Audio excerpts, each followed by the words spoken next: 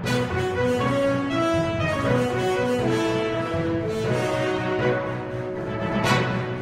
नमस्कार, बिजनौर तक में आपका स्वागत है। विद्युत विभाग के तानाशाही से परेशान किसानों ने राष्ट्रीय किसान मजदूर संगठन के बैनर तले थाने में डेरा डाला तथा विद्युत विभाग के अवरिवंता सहित कर्मचारियों के खिलाफ मुकदमे की मांग की। धरना दे रहे किसानों का आरोप है की विद्युत विभाग के जेई व कर्मचारी आए दिन उन पर तानाशाही कर विद्युत चोरी का झूठा मुकदमा दर्ज कराने में लगे हैं, जिससे किसान कभी बर्दाश्त नहीं करेगा। किसानों ने विद्युत विभाग के जेई के खिलाफ झूठे मुकदमे में फंसाने का आरोप लगाते हुए उनके खिलाफ मुकदमा दर्ज कराने की मांग की। जब तक उनके खिलाफ मुकदमा दर्ज नहीं किया जाएगा किसानों का धरना जारी रहेगा। वहीं राष्ट्रीय किसान मजदूर संगठन के नेता कैलाश सिंह ने कहा कि बर्तन भांडे व बिस्तर के साथ किसान पूरी तैयारी से धरने पर बैठा है। जब तक उनकी समस्याओं का समाधान नहीं होगा, आंदोलन जारी रहेगा।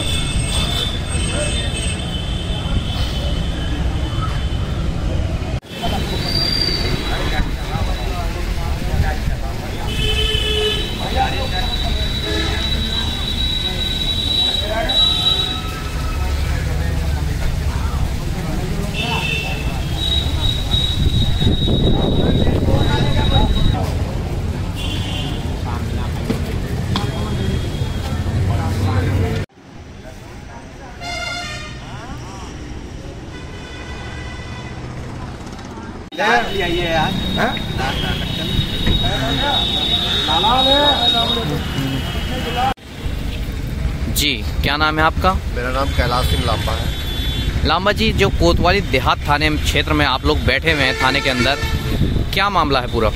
मामला यह है एक जई है योगेंद्र नाम का अकबराबाद बिजली करते और वो जईयों का अध्यक्ष है।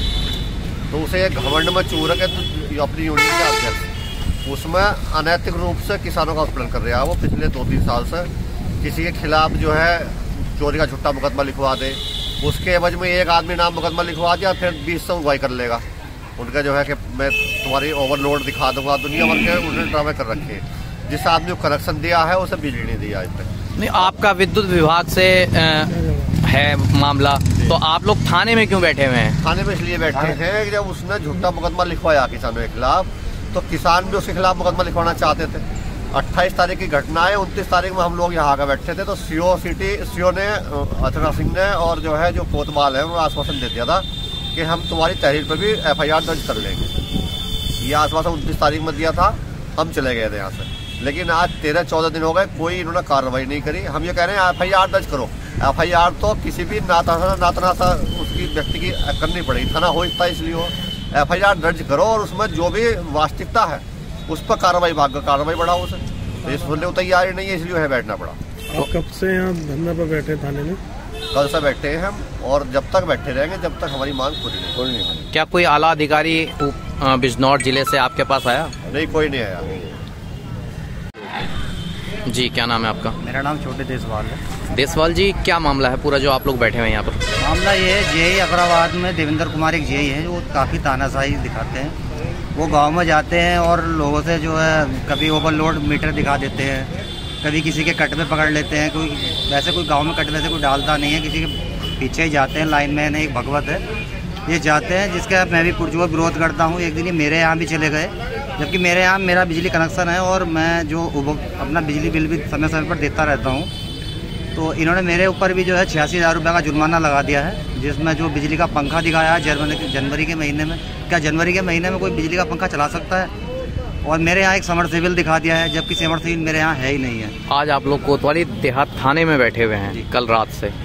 तो आप लोग क्या चाहते हैं? हम चाहते हैं कि जेई के ऊपर भी मुकदमा दर्ज हो, क्योंकि इन्होंने मेरे नाम पे भी मुकदमा दर्ज करा दिया था अट्ठाईस जनवरी की अर्धरात्रि को, जो जिसमें हम चार किसान हैं। ये और कुछ नहीं है खाली द्वेष के कारण इन्होंने कराया है। देवेंद्र जो जेई है और जो भगवत है, लाइनमैन, इन्होंने कराया है। जबकि खून कारण मतलब ये जो गलत है, ऐसा कुछ भी वाक्य वहाँ नहीं हुआ था। तो हमारे प्रशासन से यही मांग है कि हमारा मुकदमा भी दर्ज कराया जाए। आज चौदह दिन हो गए हैं, चौदह दिन से हमारी कोई सुनवाई ये शासन, प्रशासन नहीं कर रहा। है